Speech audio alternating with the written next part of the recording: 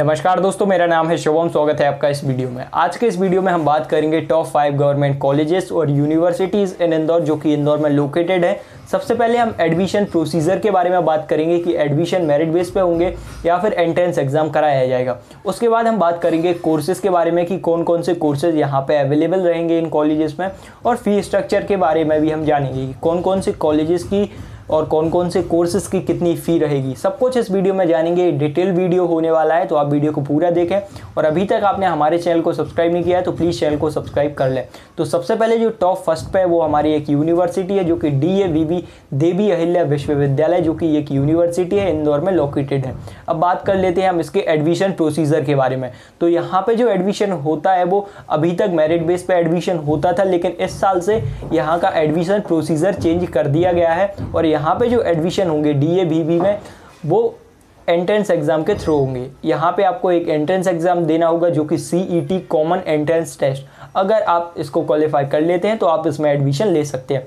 अब बात कर लेते हैं इसकी कोर्सेज के बारे में कि यहाँ पे कौन कौन से कोर्सेज अवेलेबल हैं। तो आप यहाँ पे बी यहाँ पे टोटल 228 कोर्सेज अवेलेबल हैं। आप B E B S C B A means जितने भी कोर्सेस हैं, आप यहाँ से कर सकते हैं और इनकी लिंक मैंने डिस्क्रिप्शन में दी है। डिस्क्रिप्शन में आपको लिंक मिल जाएगी।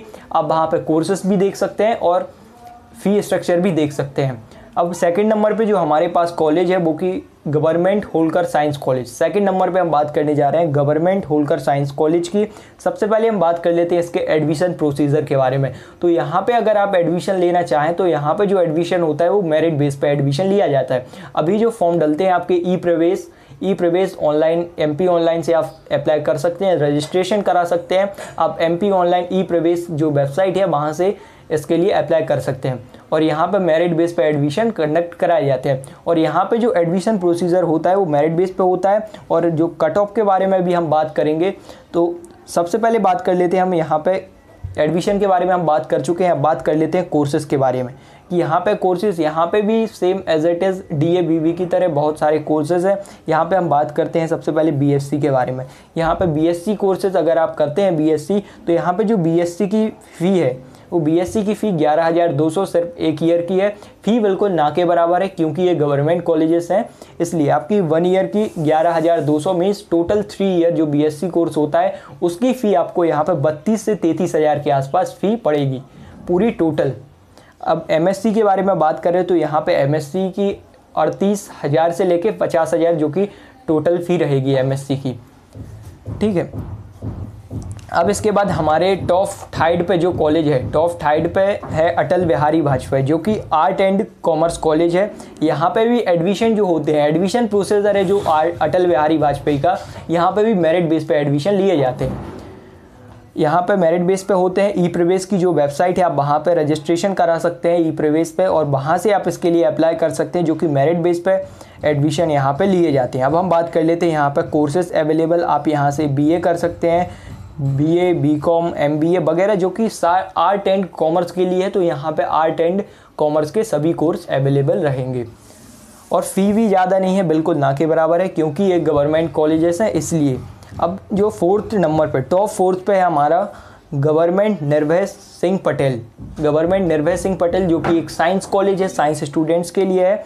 अब यहाँ पे हम एडमिशन प्रोसीजर के बारे में प्रोसीजर के बारे में अगर हम बात करें तो यहाँ पे जो एडमिशन होता है, वो भी मेरिट बेस पे होता है। यहाँ पे एंट्रेंस एग्ज़ाम कंडक्ट नहीं कराया जाता है तो आप इसमें भी एडमिशन ले सकते हैं, जो कि थोड़ी होलकर यहाँ पर टॉप कॉलेज है, लेकिन अगर हम साइंस कॉलेज के बारे में बात करें तो लेकिन फोर्थ नंबर पर अगर आप गवर्नमेंट साइंस कॉलेज में एडमिशन लेना चाहें तो आप यहाँ पर निर्भय सिंह पटेल में एडमिशन ले सकते हैं। यहाँ पर एडमिशन भी मेरिट बेस पे होगा, जो कि ई प्रवेश की साइट से आप इसके लिए रजिस्ट्रेशन करा सकते हैं।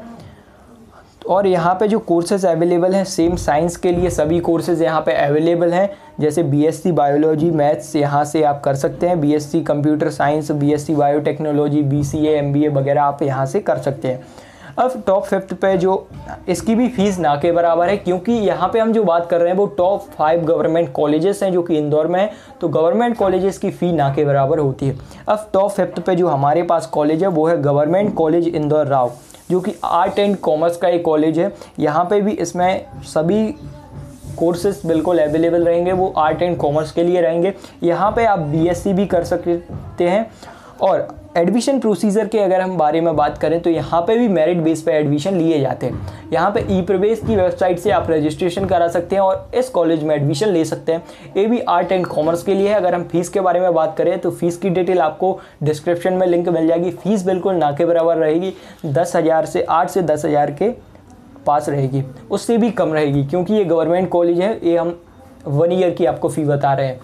तो यहाँ पे ये थे हमारे टॉप फाइव गवर्नमेंट कॉलेजेस और यूनिवर्सिटी जो कि फ़र्स्ट पे था हमारा देवी अहिल्या विश्वविद्यालय यूनिवर्सिटी है। सेकंड पे होलकर साइंस कॉलेज थर्ड पे Atal Bihari Vajpayee art and commerce college है जो कि, और फोर्थ पे गवर्नमेंट निर्भय सिंह पटेल और फिफ्थ पे गवर्नमेंट कॉलेज इंदौर राव। तो यहाँ पे वीडियो को ख़त्म करते हैं। अगर वीडियो अच्छा लगा हो तो प्लीज़ वीडियो को लाइक करें, अपने दोस्तों के साथ ज़रूर शेयर करें, ताकि उन्हें भी टाइम पर सही न्यूज़ मिलती रहे। और अभी तक आपने हमारे चैनल को सब्सक्राइब नहीं किया तो प्लीज़ चैनल को सब्सक्राइब कर लें।